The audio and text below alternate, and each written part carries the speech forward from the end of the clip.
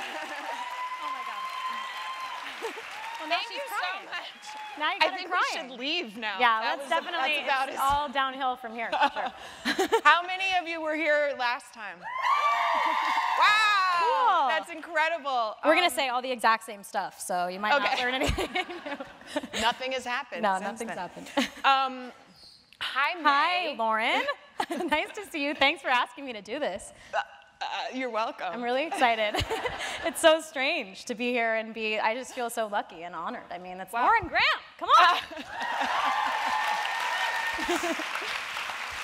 Um, I love all you so dearly. Thank you so much for coming. Same. It's just really a treat to get such a nice um, response. And this microphone is very loud.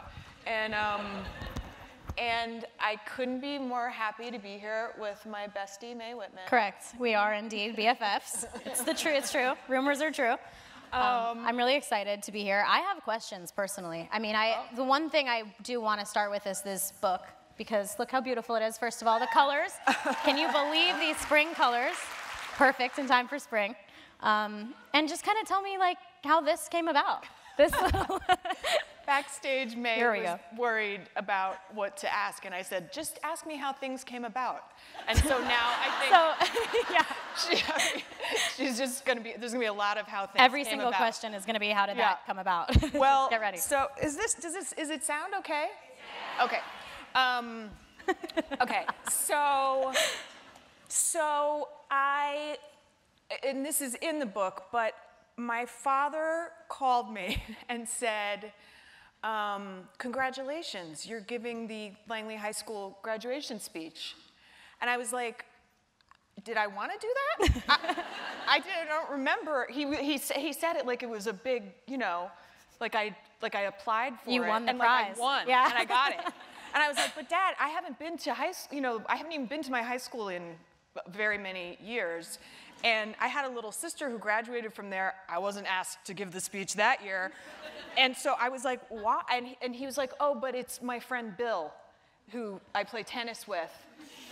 And Oh, tennis his Bill. granddaughter. you know, Bill. And I was like, I have no idea what you're talking about. and he said his granddaughter is um, graduating, so congratulations. That's literally how I was asked to give the graduation speech at my high school. And it is an extremely challenging um, effort to try to think about where you were at that time and, and what you could possibly say to Right. um, anyone. And so I worked very hard on trying to think of positive, hopeful, helpful things to say. And then my publisher said, Oh, we'd really like to publish it. And I said, Great, it's done. It's already written. It'll be my first thing I've ever turned in on time. and, and then they said, But can you change the entire thing um, to, like, and I was like, Wait, what? So then it became something else. It, because my speech to my high school was quite specific to my experience in my high school, and, and they wanted something that spoke to a broader base of people. And and so that's this this little book, and and uh, it's not you know the uh, length of the last book or anything. It's just meant as like a it's an alternative to Dr. Seuss. Oh, I like that. That's a great tagline. I believe that's on the book. I mean, I Um, have to say, for me, it was excellent to read this book because, I mean, I'm lucky enough that when I have stresses and pain and fear, I can text you and I get the wealth of knowledge directly for me. But I really, honestly, feel, feel like reading this, it felt like things that you had shared with me and, and positive messages to me that actually really genuinely I apply all the time to real life situations. So I think it's really cool that you were able to sort of give that to everyone. And Well, you know. that's very nice. I mean, honestly, once you start down, what? Oh, I, I mean, oh my God. did I just like poo on know, your compliment? I don't know. I can't tell. I thought it was That's going nice. so well. Anyway, uh, It's like, no, I'm just gonna go. You Mae just says like the nicest thing, and I'm like, I can't hear You're like, uh, no, don't be positive. I um, it, it it was very humbling, and and. I, I keep thinking of more things I would like to say. I, I might do a graduation book a year um, because Well, times but- are changing so much these Yes. days with kids in school and technology and there's it's a Well, and we, I have a teen in, in my life, and I see, you know, he's 16 now, and I see what he's facing, what he's going through, and just the incredible uh, work that, you know, the, the teens from Florida did this year, and, um, you know, yeah. eh. So, and um, the title came from my editor, Jen E. Smith. Jen? Jen loves to be pointed out in the crowd. I'm sure. Um, but it, it, it occurred as a result of um, when I went through the point I kept trying to make over and over was there are all these big life moments that we feel pressured to um, think have to be some certain way. And I feel like graduation is one of those times where you are taking stock, you're sort of, you've finished something and you're at the beginning of something else. You know, these, these moments that are supposed to feel like something. And for me, anyway, hardly any of them did. I mean, I talk about this in the book, but all I really remember about my high school graduation day was thinking, like, you know, what party was I gonna get invited to, and like whose brother was gonna buy us wine coolers, you know? and, and I was just so overwhelmed and sort of in shock, you know? And, and that's been my experience in so many big life moments, Right. you know, I like, um, I, on, in the car on the way to the Golden Globes the year I was nominated, um, whoever, I, I was in the car with like a, a work person who was like screaming on the, yelling on, well, yelling, screaming doesn't sound nice. He, he was um, Loudly having pontificating? a, having a Sure. work conver- It just was one of those moments where I was like, I don't know what is supposed to be happening right now, but I don't think this is my I dream scenario Yeah. of like, you know, it just felt so strange, and I was kind of dating a guy who then ignored me. Like that's all the things I thought about Yeah. Mm-hmm. was was all the life things, not the like. This is a big day, and you know, I'm I, I should feel proud. And it, Yeah. it just never kind of turns out that way. I feel like I had that when I was like a child actor. People always ask me like, what was it like working with, you know, et cetera, et cetera. And I, I remember things like, he, George Clooney bought me chicken nuggets once. It was Yeah. really cool, but there's like no real, you know, it's all like flashes of little Yes. random life stuff that kind of you put can't these take memories it in. together. Yeah. And, and I think on, a, on, a, on those big, you know, it's graduation or uh, any kind of uh, big moment, it, it, you can't always uh, you can't always understand it all at the at the time. But you Yeah. like me better than Sandra Bullock, though, right? I, who's Sandra Bullock? I don't even know who that is. She played your mom a long time. Okay, yeah. I mean, I could also throw the question in your face: Who's your favorite TV daughter? But I- you don't see me I doing have that, to go. do ya? yeah, let's save it for the car ride home. Um, anyway, we'll talk about this in the car. Um, but I do want to talk a little bit about like writing, just like what's Yeah. that like for you, and what kind of has made you want to be a writer, and how is it different from acting, and just kind of in general what your writing process is. Well, part of um, part of starting to write was a real desire to be in charge of my own story. And that just evolved out of years and years of, of being an actor and um, having a relationship to the material. N- normally, both on Parenthood and on Gilmore Girls, there was wonderful material to, to work with, but I st- the way I read scripts now is almost um, in opposition to them. I started to notice. Do you know what I mean? Yeah. Like, I would read something and I'd be like, God, I really wish she said this. I really wish this happened. I really wish, like, I started sort of having that relationship to a lot of what I read. And, you know, I was a reader from very young age. Um, reading and books were a big deal in my house. It was, it was a way I I just escaped. It was a way I used my imagination. You know, my father w- was one of those parents who would say, like, you'd ask a question, he'd be like, look it up. There's a book on that. Look it up. You can learn the word. Hi, Gary. I saw you. Sorry. Um, so I just grew up with that as like, um, that's the solution. If you have a question, you you write a book, you read a book about it, and and and it just.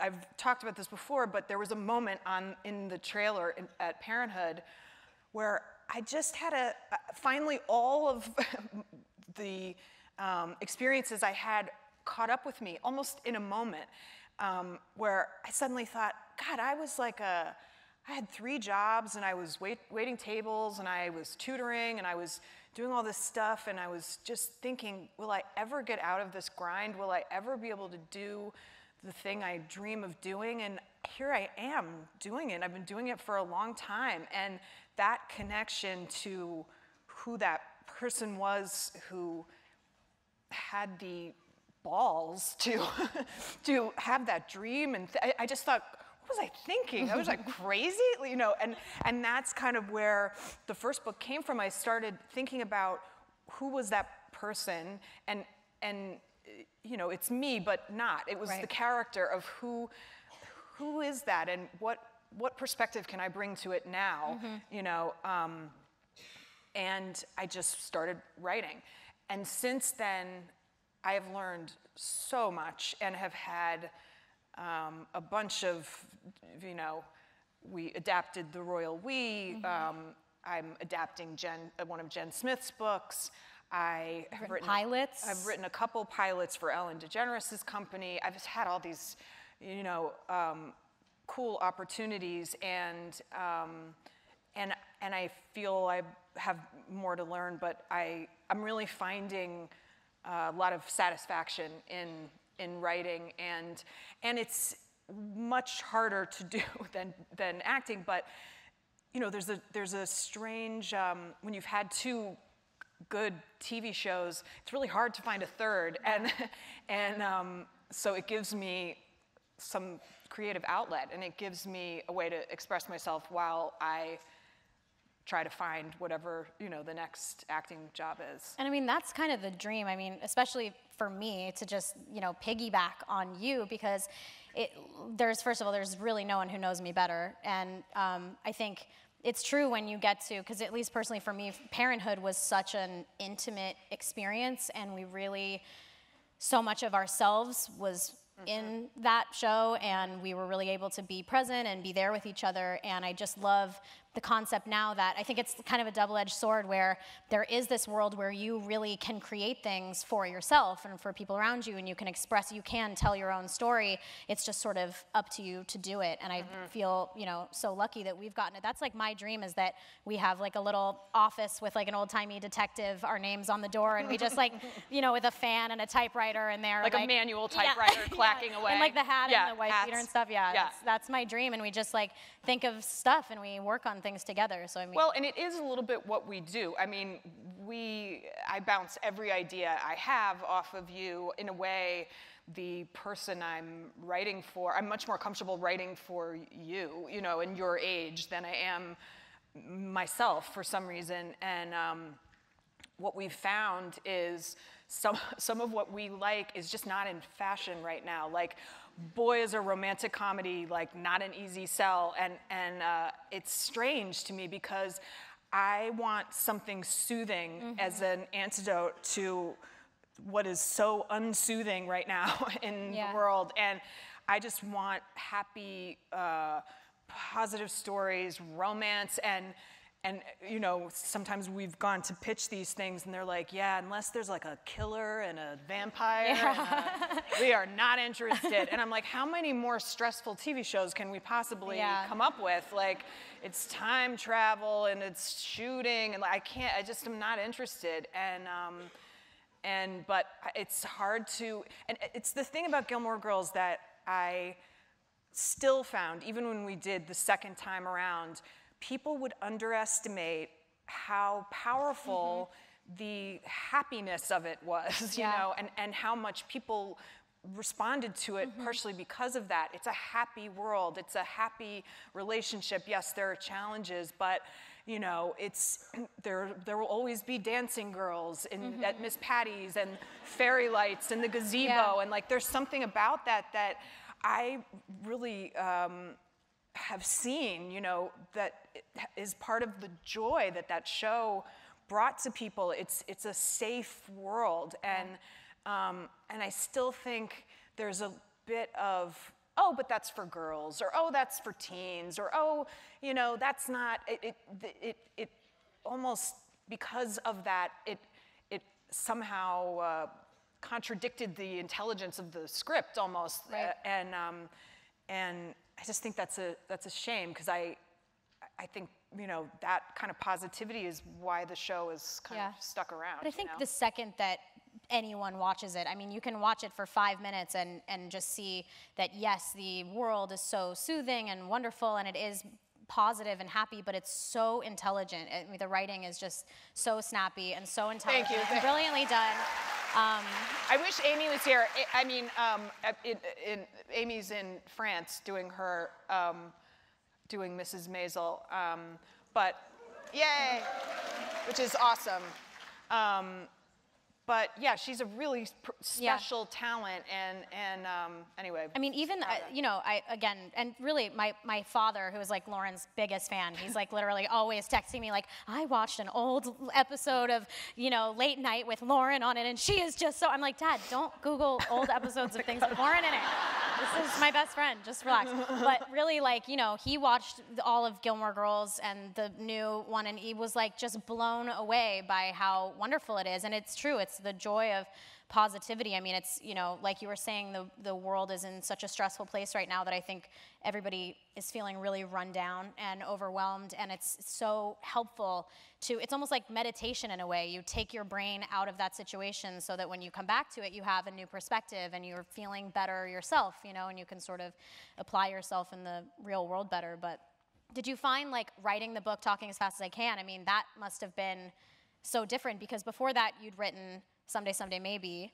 Well, everything has been different. I'm, I'm, I'm, I'm anxious to, or now I've started to uh, work in a format I've worked in before. It's just happened that the first thing that kind of came to me was fiction, and then the second one was this book of essays, and then I'm, I wrote a one hour script, and then I wrote a half hour script, and I was like, wow, I'd really like to just do one of these twice so that I could learn, apply what, I, what I've learned. Um, I really enjoyed, in terms of what was more the most fun, to write the essays was really fun, and, and um, it is still the way uh, things come to me in terms of I think of the chapter titles I know. first. um, what's the one we came up with today? The, uh, well, I mean, no, the, which one? I mean, there's so many good. Do you want to spoil them? It's going to be in the sure, next book. it's okay. I mean, They won't there's really the best ones. BYO pillowcase. BYO pillowcase. I went. I went to um, a hotel. Some of these are. It's sort of variations of of um, how I am thinking about aging, or you know. Um, aging. I'm trying to make it some other thing, but it's really aging. Um, aging, or Aging or something more attractive than that. But, uh, but you know, I went to this hotel and I, um, I got a rash from whatever they washed the sheets in, and I was like, oh my God, am I that person now? I'm gonna have to bring my own sheets and pillowcases to like how it happens. hotels because like I'm so sensitive. It's to my skin. I couldn't, and I was like, oh God. So anyway, uh, that was one. But there was something else we were talking about. I mean, we our, did it. our podcast. Our, well, this is yeah. The, I've been trying to convince Lauren to do a podcast with me for like months and months. Right? I mean, what could possibly be better than this for hours? it came as a joke because literally every single one of our friends has a podcast. And, and I'm like, ugh, God, we gotta go beyond. I just did Dax's podcast. He's Yeah. trying to get you to come. It's fantastic. He's wonderful. He's also my neighbor. It couldn't have been easier. I just like walked over to his house. Um, but it's as I think it's Kevin Pollak who said podcasts are the new jury duty. Like, you don't really feel like it, but you like gotta do it because it's your buddy. And I, but so we started kidding about what would we do if we had a, a podcast, and we can't stop talking about it. I know. even though it doesn't like, exist. Our non-existent podcast that I'm going to insist we record right when we get home. But and Jeff, uh, Mae's dad, who is my other boyfriend, is um, is a sound engineer. So I it's like we mean, have to do it. He's gonna make but us sound Can what? we really? I mean, what is there? What more can we say I mean, I about could that do this. hasn't but been said? All we do is this for hours every day. I don't understand the question. we, can't we let everyone else in on the fun? I mean, well, we have a book club as a part of our We podcast. have a book club as part of our podcast. that doesn't exist. Well, I mean, it's sort of, to me, based a little bit on if you read Talk as Fast as I Can, there's a chapter, my personal personal favorite chapter about Old Lady Jackson, Mm-hmm. which is the character that Lauren created, so that it, which is sort of the, the more conservative uh, version that is sort of the uncool version who gets upset whenever Miles and I get tattoos or piercings or do They have anything.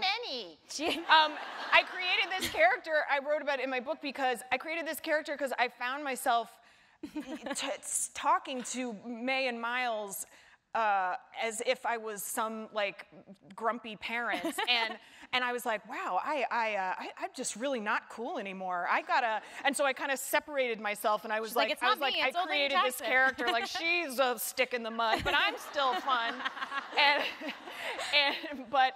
So our podcast would have a section about like things that I com- complain about. yeah, Old Lady Uh, Jackson. but it's not me. It's old lady Yeah, Jackson. of course, yeah. it's not you. You're She's so, hip. Yeah, you exactly. would love it if I got Right. more tattoos and did crazy stuff all the time. That's, No more tattoos. Look.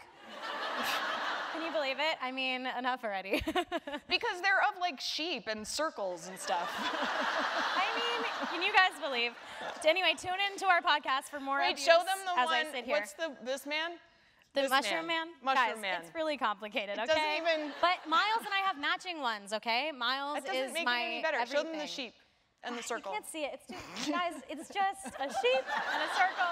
They all have very significant Because it looks like meanings. First of all, you're a beautiful girl. You we go. are fantastic. But it looks like it looks like some. It looks like she took a pen and just like did. It's like when you're like a kid. Uh, it's called wrote, a like, prison you know, tattoo, and it's cool. What? Hello. Is that what it's called? It's stick and poke. I mean, what do I have to teach you everything? Ew. This is literally the podcast. People have been doing it for centuries. It's a ceremonial. But this is exactly my issue with it. It looks like something you did yourself, and now you're telling me you basically did. Okay, first of all, first of all, only a couple of them were done by people that are not Ew. tattoo artists. It's a very listen. You know what? I'm gonna post later on the internet some pictures of my tattoos, and you can tell me if they're cool or not cool. And we'll have a Obviously big they're cool. poll, Obviously we'll see what's cool. happening there. I'm, I'm gonna stop. I'm sure my parents are like, yes, no more tattoos, watching this live stream right now. So excited about it. But Uh-uh. I mean, I do a little bit want to talk about like parenthood and Yeah, just the let's experience talk about of parenthood. filming it, right? I mean, so I just, I, one of my first memories of Lauren is, you know, she was like the coolest ever. And we, we were on a huge cast, and I was probably, I think, like 21 when we started. I think, I think I was Okay. 21. And I remember I had just no, like, no clue what's going have on. no clue. I was, I remember I, we had only been working together for a few months, and I remember I was talking to you really early on, like probably within the first week or two of filming with you, and I told you that I love to cook, but I had no like nice pans of any kind, and I was like, oh, my friggin' pan got burned in the thing because it's a piece of shit. Like it was like a whole thing. I don't know if I can say that, but anyway. You can say it. Okay, and then and then I remember like four months later, it was Christmas, and you gave me like the most beautiful Le Creuset skillet that I still is the only nice pan I have. But like, I was like, who is this that she remembered? And within the first week of us meeting, you were so considerate that you like remembered this tossed off comment, and I was immediately like, wow, I love her. Like, and it really like took off from there. I mean, so generous, so kind. I wanted to start your Le Creuset collection. You did, It's and an I, important collection. You just, it's still starting. It hasn't, hasn't continued. Right there at the beginning. There it is. Um, I just remember, you know, I came to the cast late, and um, normally, even uh, even if you weren't auditioning, they would bring you in, you'd meet, you'd have a chemistry, you'd have lunch, you'd have something. And um, we didn't have any of that. And I just can remember the first day we all met, and it was really an instant feeling of, of family. Don't make me cry. Yeah, it was really family. This is how it happens, folks. And um, we we really took our family seriously, and and really um, it's it continues. I mean, I'll say. yeah, I, it's one of, really one of the only experiences where I feel like I've become close with someone, and then I actually, when, when even when the show ended, I was sad, but it didn't affect me in the way I knew that I was going to actually see more of you guys outside of mm-hmm. work, and that's really continued. I mean, mm-hmm. we're like everyday, boring, like banal, go to the DMV partners. Like we Yeah. really do like the stupidest everyday stuff Yeah. together, and I mean, we really formed such a tight bond. And I think, you know, a lot, a big part of that too was we were able to do some improv on the show, and I think that was such a special feeling. And you know, people always say to us like, oh, they're, you guys were always crying so much and the crying. And I'm like, yeah, because we would literally have rehearsals where we'd sort of go in and say, what is this scene? What's, what do we need to hit? What are the points of this? And then you, we would go in and, you know, you're working with somebody like Lauren Graham and I would just go in there and the second those baby blues water up, I mean, what am I going to do? I lose my mind. You know, it's, it's, it's also very funny to me. Um, you know, I had a real issue with um, emotional scenes before that show. Wow. I am a very verbal person. Gilmore Girls was perfect for me in that time because it has and had a an almost theatrical language to it, which I loved, and it and it wasn't so it was so much about talking and and uh, verbal communication, and way less about behavioral sort of you know close-ups and moments and stuff. And and uh, I had had issues in work before when I was supposed to cry on cue, and it always gave me such a panic as a, and made me feel like, um, you know, as an actor that I was really blocked, and it just flew out the window on Parenthood. I, I, I, and I don't know if it's the time of life, you guys, the, the, the subject matter, the mm-hmm. scenes. I mean, it, it was, um, it was really an incredible experience.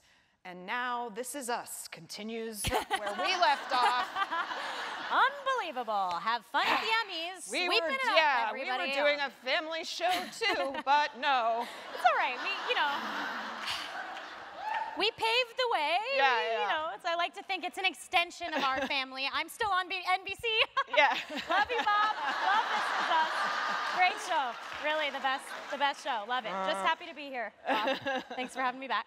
Um, yeah, I mean, I think it was all those things though. But really, it's like, I think another thing is we really were able to bring, I mean, again, that show was not about the, anything enormous. It was not explosions or mm guns or any of this crazy stuff that is so extreme. And yet, to me, it felt like the most extreme job I've ever had because it was very honest and it was, we really took these people's lives seriously and i think especially when you are able to improvise and especially when you're there literally was not a bad egg in the group. Like everyone loved each other so much and in such a real way that i feel like we really fell in love with the characters and we really wanted their stories to be told right. And i, I just feel like we've really felt like family with our characters and with each other and i think it just made it made the experience so. The experience was important. incredible, and old lady Jackson used to say to the kids, um, you you'll never have another one like this. It's true. Like, You're like, yeah, we'd be yeah. done by like three o'clock in the afternoon. I was like, no, this is not normal. And and we blew you off, and now you're now so right. you. Now look I know. now she like calls me from Good Girls. She's like, it's two in the morning. I mean, what is happening? And I'm like, that's just normal filming. Like smug about it. I don't know why. It is. Although I will say, in Parenthood, I had my first experience where. I, at times, felt frustrated within the world of my character, mm-hmm. where I realized I had never played, you know, you play these characters over years, and right. and it would frustrate me when. Um, first of all, when Sarah would start a new career and then drop it, where'd the playwriting go? and You had one successful play. You put I the play on. It went great. Play, and then on. I gave it all up. I don't know. She's and, a jack of all trades. Okay. but I mean, I kind of wanted to do one or the other. Like I, I thought when I first started, I thought, okay, this is a story about someone who's really um, has not been able to uh, get what she wanted. And I was really intrigued by that. Mm-hmm. You know, I, I love the, you don't want to always play a hero. You know, right. I liked the idea, especially that it, it was another single mom, but to me it was so different because I really thought we were going to see her struggle. And then that's not really the show we were doing. The show we were doing was something, you know, more um, hopeful. And so we'd get these little wins and uh, but I, I, could, I, I couldn't get a handle on it in the same way. Do you know, like yeah. I, I, I, couldn't quite, um, I didn't want it be, to be defined by what relationship she was totally. in, but that's, you know, you kind of, that's TV a little right. bit. You know, people fall in love with, uh, you know, a couplehood, or they root for people to be together. And I, I have a question. Are you? Yes. Why are you talking? Are you team? Like no, this is an important question. are you team Cyr or team Hank? Rizzoli. That's little. There was a big triangle going on in Parenthood that was with Jason Ritter and Ray Romano, and Jason still gets really upset whenever we talk about it. So I hope he's not watching. Um, I of course will never answer that question. I know. The TV daughter question all over again. Um, I will just say I really fell in love. I mean, I am in love with Jason Ritter. I'm in love with Ray Romano. I I loved uh, I loved how how relentlessly hard on himself Ray always was, and and because it's really true. It's not it's not an act. You know, he's like ah. I don't know. I, I, I gotta, you know. you know, am I this right? Yeah, is this okay? Does this seem weird to you? Is this weird, right? Yeah. Um, I just loved him, and I like, he worked so hard, and he was He was really he incredible. was incredible, and he, you know, he's just one of those artists who he can't rest on what he's done already, you know, and and he was always so helpful to comics starting out, and he would to go do, you know, someone's a brand new show, you know, to kind of be supportive and.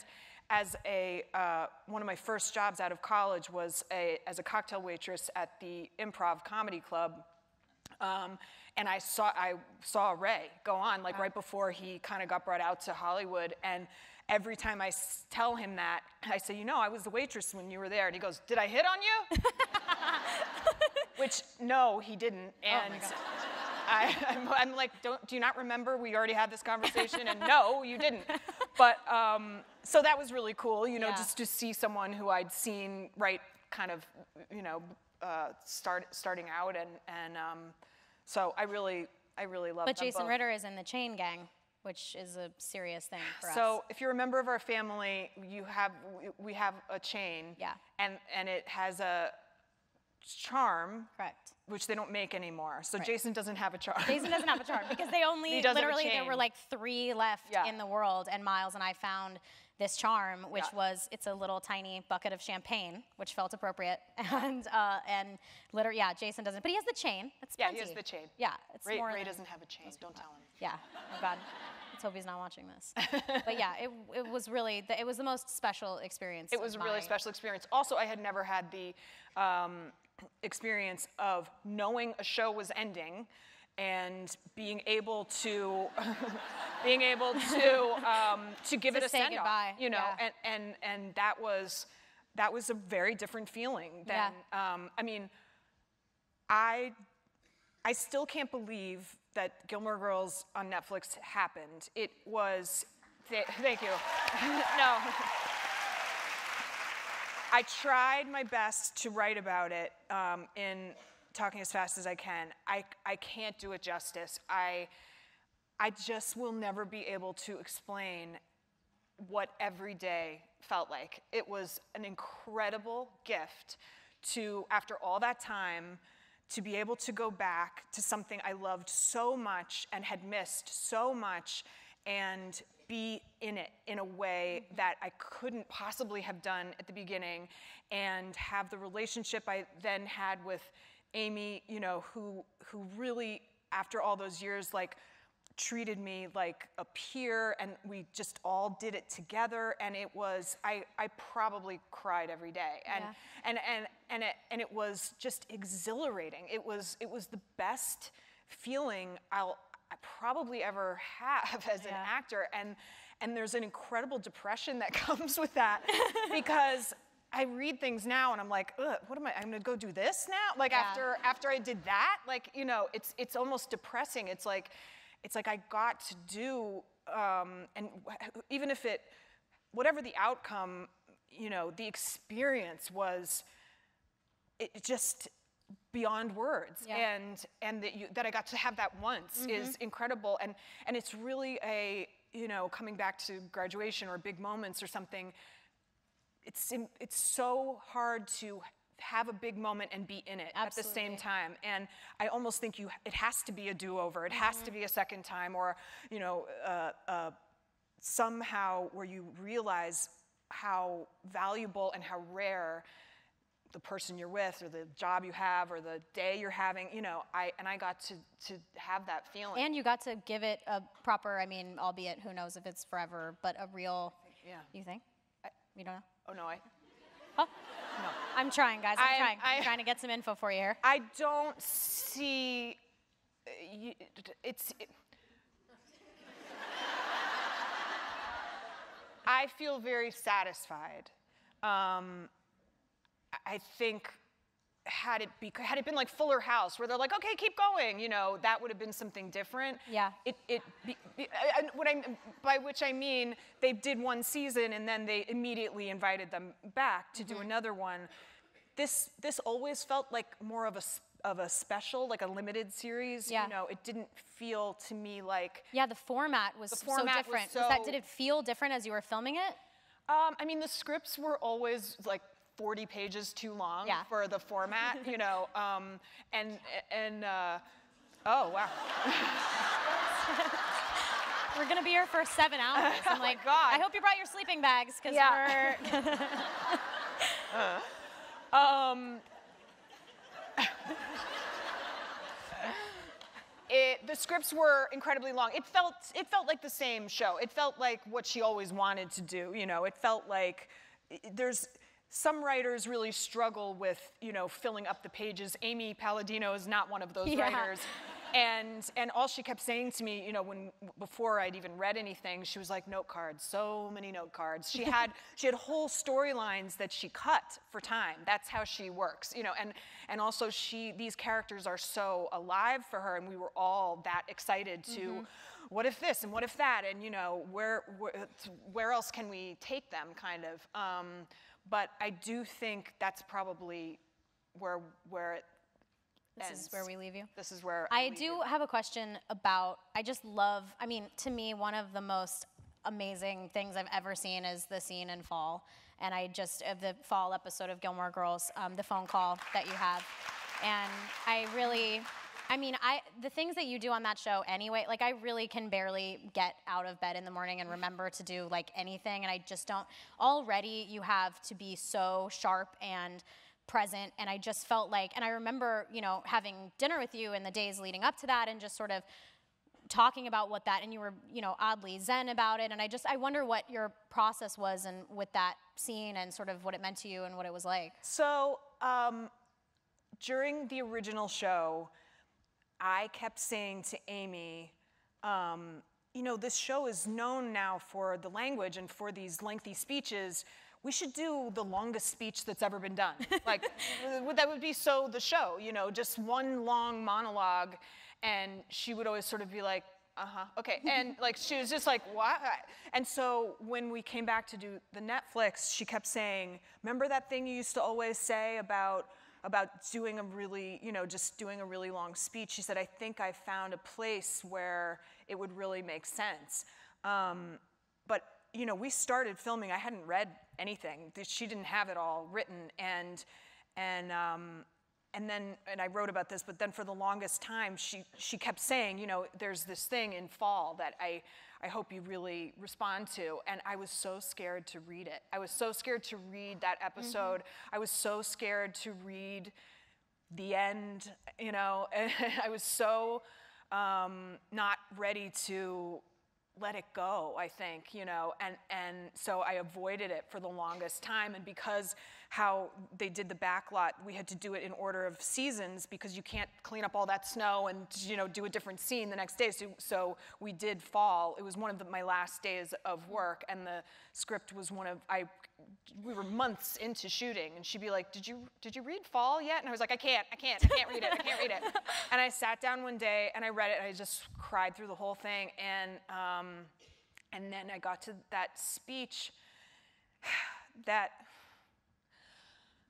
still obviously is very upsetting. Um, that, you know, it's just, it, it, it's just, it was such a strange combination of a piece of material tied to a person I love and lost. And, and it felt to me like it's really a tribute to him, you know? It's, it's sort of, I, I want to, it's, it's, it gets all mixed up, but I want to honor his memory somehow, you know? And that's what I feel like was thematically an undercurrent of really the whole show, you know? And, and, and the, what we all connect to is, you know, losing somebody, loving somebody. It's just so human and so relatable. And so that day, um, well, first of all, I didn't want to have to call for line. I didn't want to have to do a bunch of takes. Um, I didn't want to beat it to death. And so I did something I hadn't really ever done before, which is I just recorded myself very flat, like not acting, but just the words. And I would play it in the, in the car just so it was so in my body that I wouldn't have to be like acting or like, you know, looking for it or whatever. And, and then we just got to the day and, um, and they were like, okay, so it's one shot, which we do a lot on the show, um, and we did a lot back in the old days. You know, most scenes in television, it's like two pages, three pages. We'd have 11 page scenes that we were doing. Everybody had to be perfect. Mm. The camera operator, the lines, the background, the everything. It became these massive choreographed, you know, um, sort of uh, collaborations, and uh, they take a long time. And and so this was outside, and you have to worry about the sun and where it is, and and um, so anyway, yeah, we just you know we just ended up doing it just really two maybe two times, and um, and and I just felt happy with it. I felt, you know, I felt because the worry always when you jack yourself up and want something to be mm-hmm. something is that you know you can get there and be like, oh, I'm dead inside. Uh oh. Yeah. Like, you know, you can get there and just be like, oh, my uh, brain and heart have left the building. I, and, and there's real, a real fear with that. You kind of, you know, you're your own instrument and you're not yeah. always like ready to play totally. or whatever. And sometimes you have to fake it and sometimes you have to manufacture whatever. And, um, and so I did feel like, and this is really actressy, but um, you know, it also to me was um, something about the show, about that Netflix show, um, was about my mom for me. God. Can't reach and, you um, across the table. I'm like, um, Amber, Amber. Um, and uh, and a, a, loss that I really hadn't processed. I mean, it happened during you know the the last year, the second to last year of the first Gilmore Girls, and uh, you know my mom passed, and I couldn't be there, and and I just sort of like kept going, and and so really for me personally, that was a big piece of of this second show is I just felt her presence, and I felt. Um, I felt that loss in a in a way through the character's you know story. Stop crying. I can't stop crying. you're listen to what you're saying. I'm, supposed cry. to cry. Well, I'm crying. You don't have any tissues. This is what happened. Okay, listen. I have we have to get away from this now because this is terrible. I Let's think we have questions. to look at our questions because can I look at some of them? Bajillion. Are yeah. you Do you want half the stack? Yeah. Okay. Do you want to go first? Uh, sure. How? Huh. okay, I'll go first. I feel like okay, go ahead. Uh, okay, Elise from Bon Appetit magazine. Delicious. Recipe tips? Lauren, you wish. Lauren. Yes. What's your favorite name? Yeah. Wow. Thank you. I'll take one too. Thank you. Okay. Lauren, what's your favorite neighborhood restaurant in Virginia? Why do you love it and what do you order? Oh, wow. First of all, I never really eat out in Virginia. Mm, interesting. My dad, when, especially when it was just the two of us, we ate out all the time. And um, and it's but it's like places that probably don't exist anymore. I mean, it's uh, it's like Clyde's in Georgetown. It's like where my father goes every yeah. single day. Yeah, it's good. Okay. What do I order and why? Wait, this is not a good enough answer for Bon Appetit magazine. Yeah. I order the. This is not exactly cover story material. it's not a cover I mean. story. Darn it. I order the foie gras terrine with. Make it up. I don't even know what that is. Sure, that was fine. All right, thanks. That was great. Um, wait, how do you separate the voices you've played from your voice as an author? Mm. Uh, I think if I if I understand correctly, I think uh, finding your author voice is um, is an ever evolving thing. One of my favorite parts of when I get to write fiction and dialogue is I get to play all the characters and, and I get to not play me. Um, that's really fun for me. Um, you know, I just wrote something. It's a child prod- prodigy piano player in high school, and there's her.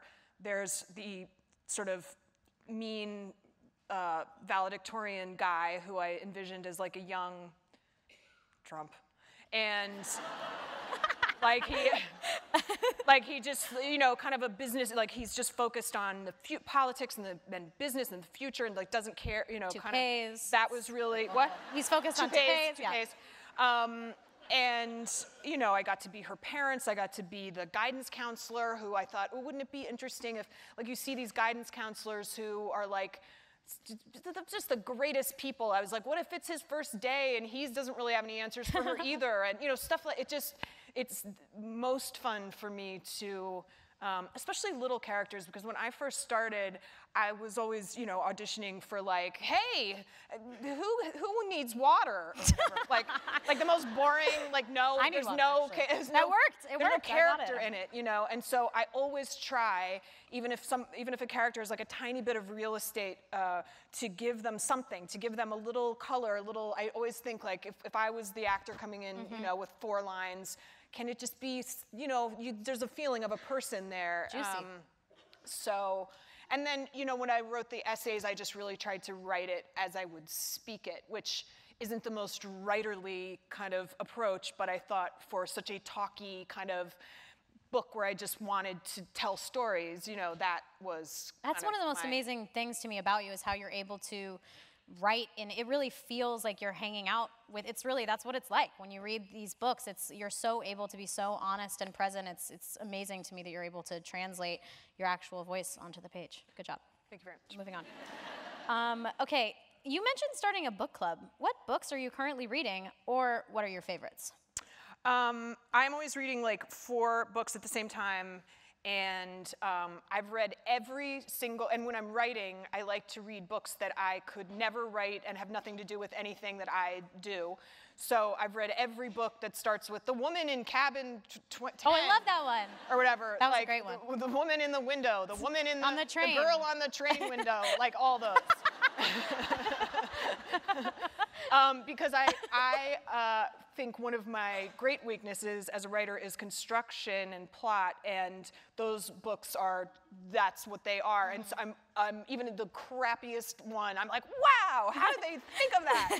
so cool. And then it's the guy who did it. Ooh, that blows my mind. So I like, I like, I like, I like like a thriller, like a mystery or Stephen King. I read a lot of Stephen King. Um, I'm reading The Immortalists right now. I'm reading. Um, uh, and any of my friends' books, you know, I just like got to know Jenny Han, and I read uh, her uh, first first book. Jenny. no, Jen's asleep. oh boy, this is going so well. Um, and now I get to, it's one of the accomplishments I'm most proud of is, um, which has just kind of happened to me this year. So I have this incredible editor, Jen Smith, who really is responsible for um, this cool concurrent career I'm, I'm having, who is uh, an extremely pleasant taskmaster, which I think is such a like feat to pull off. The combination of like get it done, but still smiling. Like she's so encouraging and positive and helpful, and um, and I get invited now to write with her sometimes, and um, with Jenny Han, and I feel really cool. oh my god, so jealous. Um, oh, Amber Martinez wants to know when you're writing more than one project at a time, do they ever influence each other? Uh, yes, yes and no. I mean, I, one thing that's fun about working on more than one thing at a time is if you get tired of something, if you get tired of yourself in one vein, you can go somewhere else. And I and I actually find that really helpful to like you hit a wall, it's frustrating, work on something else for a while. And in fact, that's part of the Don Roos um, kitchen timer thing. I really love is, this a lot. Um, which is in uh, my last book, um, which is just a, a method of working um, and uh, says, if you if you can't if you're stuck on the project you're working on, you can go work on something else, but you can't like get up and make a phone call. You know, Right. you have to like be kind of switching back and forth. Um, do you feel that so-called low-stakes storytelling receives the respect and recognition it deserves from industry voters? No, I don't. Um, do you know what she means by this? I didn't even hear you talk so fast. Oh. It's like friggin' Gilmore Girls in here, am I right? Hey, come on. So I think this is sort of what I was talking about um, in terms of Gilmore Girls being a not not or sub, or even Parenthood. Like, it's not an event-driven show. It's not Homeland. It's not The Americans. No one's a spy that we know. of. Yeah, you don't know that. Um, And I do think that it's not like to industry, whoever they are, it doesn't feel as sexy sometimes. It mm-hmm. doesn't get the kind of attention of like a higher premise show. But whatever. I have a question. If Yeah. you if you thought somebody on Parenthood, one of the characters on Parenthood, was a spy, who do you think it would be? obviously Bonnie Bedelia. Obviously, Bonnie Bedelia. She's so warm and cozy and Oh, she went to Italy. Oh, Mm, sure, yeah. I don't know. yeah, good call. I was gonna say Miles. I was gonna say Drew. weirdly. Oh. just because he's like quiet and like internal. He's probably reporting everything back to the Oh, friggin' back to the headquarters, home office. back to the big boy upstairs. Wow. unbelievable. He lives in my house. definitely Now I'm is scared not, of him. I know. Well, Well. how about our little Miles? Can He's you like, Miles? 13 Reasons Why. What a cool guy. can you believe we No, still I love him so much. It's my turn. Shh, shh. For Lauren, what is your favorite bookstore in New York City? Oh, Um, and what Jackson. in what sections do you spend a lot of the time Hmm. pursuing the books? Also, do you know how amazing, talented, hilarious, and a plethora of other adjectives you are? That's from Lori. Thanks, Lori. Thanks, Lori. Um, yeah, it's McNally Jackson, Mm-hmm. and um, and in LA it's Skylight because there are neighborhood indie, and there's so few of them anymore. Um, I always like to see what the staff recommendations are. Hmm. I um, I am intrigued when I when I did my first book. I would look for it in the regular section, and sometimes it was there, and sometimes it was in romance, which Ew. I was like, it's just a funny uh, distinction. I feel like that again just gets my like woman stuff up. Yeah, totally. Where. I'm like, where I'm like, why you gotta call it Like, a romance? It's woman just wrote a it, so it's Well, romance? also Like, it's a like, isn't there romance in so many things? And it, it just felt, it feels sometimes to me. First of all, I think in these giant bookstores, they're just trying to help you differentiate, you know, what your interests might be. But I don't know. No, I don't, doesn't I don't work like for it. me. Anyway, um, my dad is 63. He's a blue collar worker, and he drinks Budweiser, and he loves Gilmore Girls. This is not technically a question, but But I love it. you. That's amazing. I have one. me. By the way, old lady Jackson needs her reading glasses. I'm like worried over there. You're struggling. Okay, uh, for Lauren and Mae, what are you currently Netflixing? Oh, From Taylor Randolph. I just finished Wild Wild Country. Me too. So did you. yeah. Wow, Wild Wild can you guys believe? great. So Um, insanely stressful. Do you know what I can't believe I hadn't seen already uh, from, but it's Amazon, is Fleabag. Have you guys seen Fleabag? So good. I haven't seen it yet. I And now that I've told you this, I can't steal her device, which I love, which is she's the only one who does asides to the camera. It's not, it's sort of, if you haven't seen it, it's, it's almost, she's in her own kind of documentary, like she's including you by breaking the fourth wall, but none of the other characters do it. Um, which I just, for that storytelling just works so well, but I think her writing's really fantastic. And also, she's a great actor.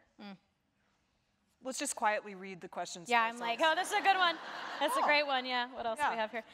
Um, do you have a good one? Oh, I'll just throw this in there while you're Okay. looking for one. Uh, what are your Hogwarts houses? From Juliana. I'm obviously Gryffindor.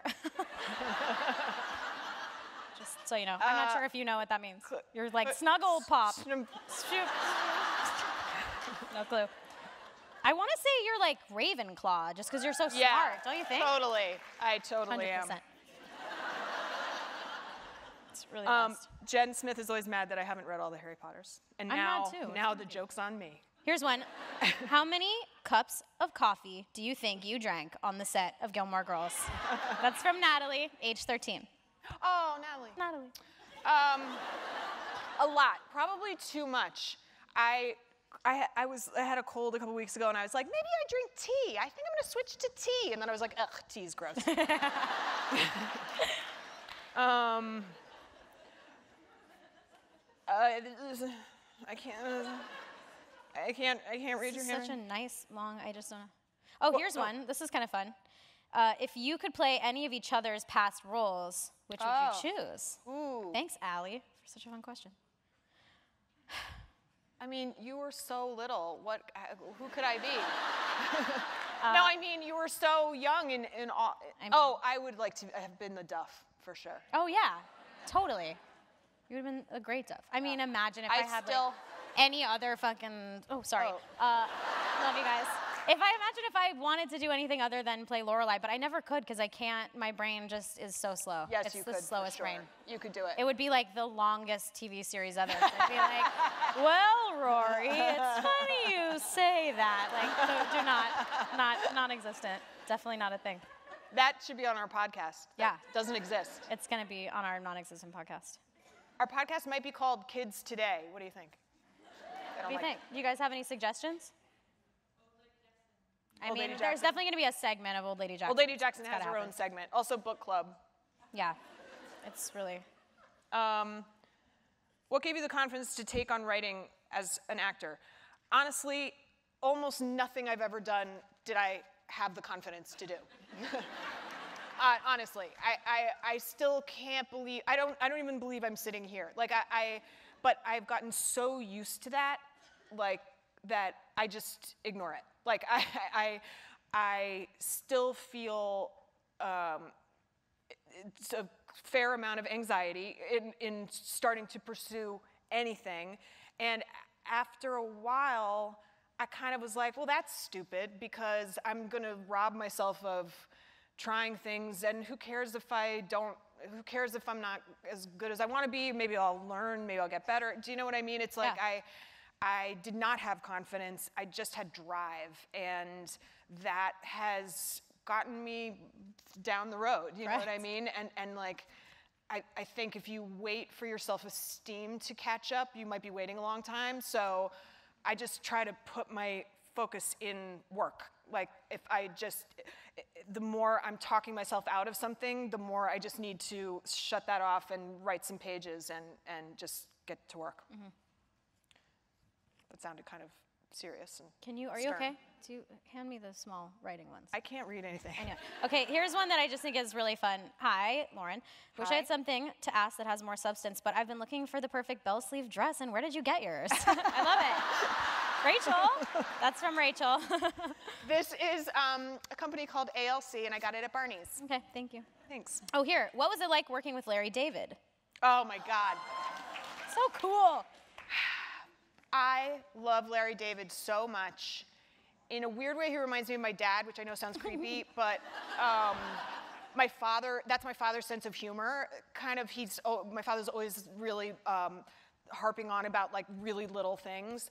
Um, I am occasionally in a poker game, and I'm the worst poker player. Like, I, it, it's a part of my brain that I, I go into like an anxiety state that's like I'm like, is three of a kind? Is that better or worse than four of a kind? Is that three of a kind? Like I, I just can't keep it straight in my panic. in my mind, and it's so frustrating. And so we play, and he's a very good poker player, and he always wins. Which like the richest person walks away with the money because it's a game for money. Like they're not kidding around. Wow. And um, so I had played in this game a couple times, and um, in the absence of skill, I try to be entertaining at these at these um, dinners, and but I never knew. Like I was always like, you know, Larry's like one of those people where you're like, you go, you drive home in the car, and you're like, does he?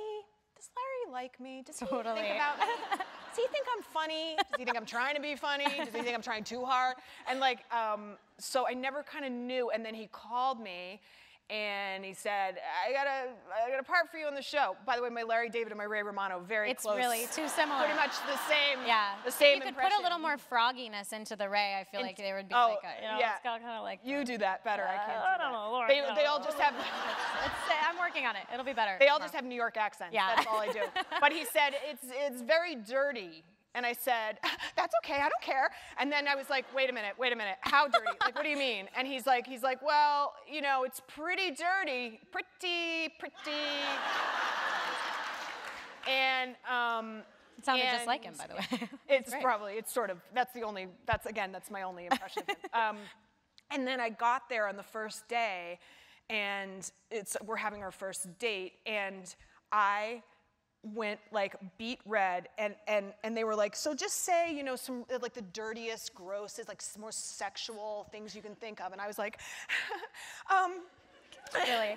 so salad huh? Literally.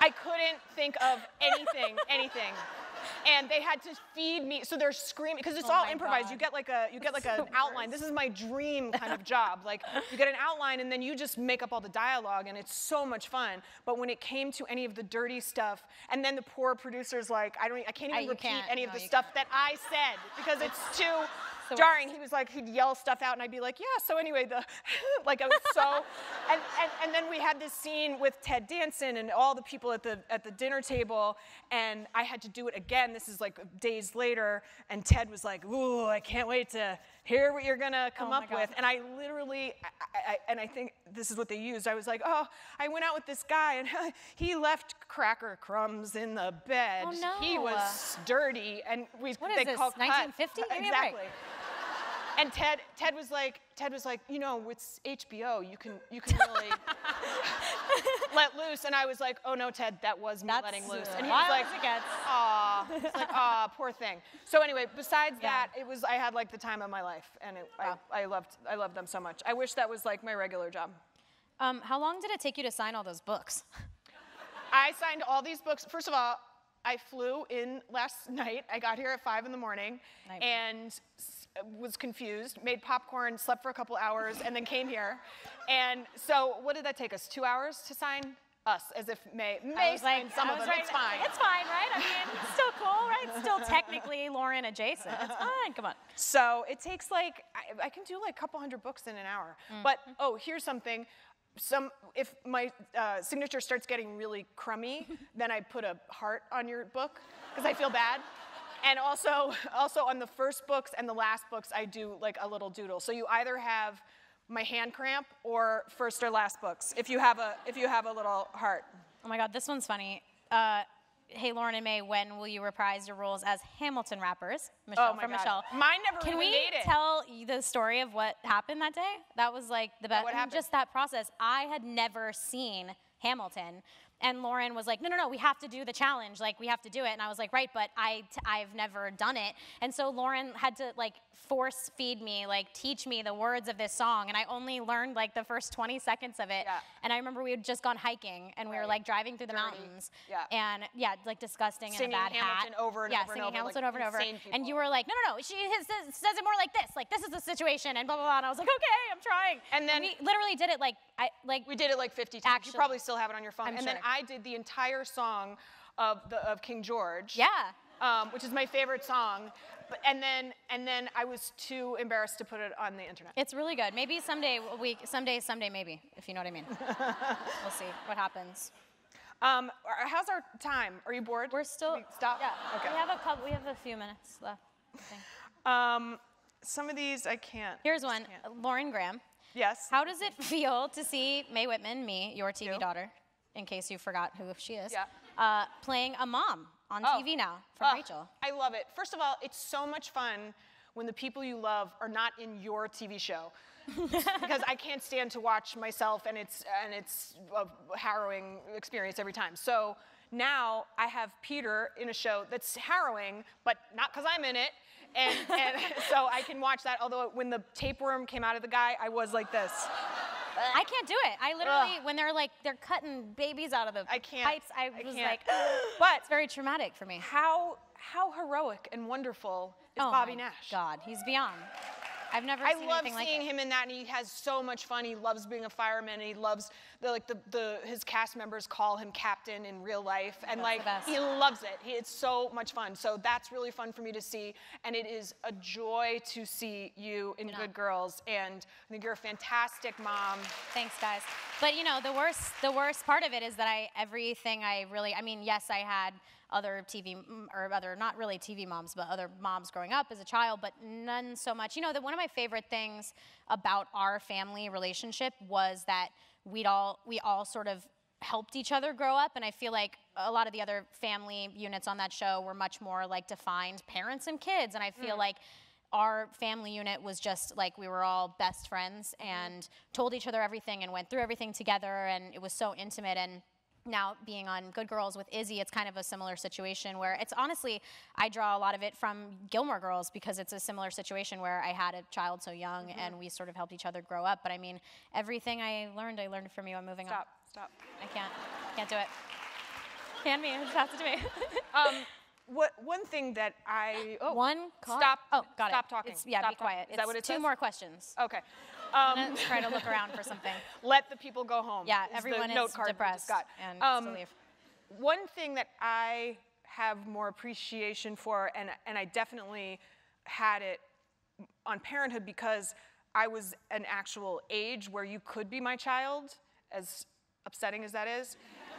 And, and on Gilmore Girls, we were really more, we were genuinely closer in age, but it, it is an incredible gift to be able to work with a young actor and kind of give them your experience stop give them your experience your experience and you're you really are kind of a, a, a parent figure and it's it's a really important job and you're doing an incredible thing for that little girl and she is lucky to have you it's so.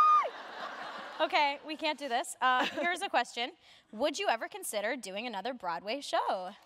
Yes, please. Yes, please. yes but i don't know what it is i mean that was boy is that hard work golly Yeah. Um, but you know, I, I don't know what it would be, but I, I, there's no more powerful experience than the theater to me. Still, it's just my favorite thing, and um, and I would love to be part of that. Again, it doesn't have to be Broadway. I just would love to do. I would love to be an oldie actor who just does plays and musicals. Like that's because you know TV after a while you're like, oh, my face, and then I don't I don't want to like chop it all up and you know you know. So Yeah.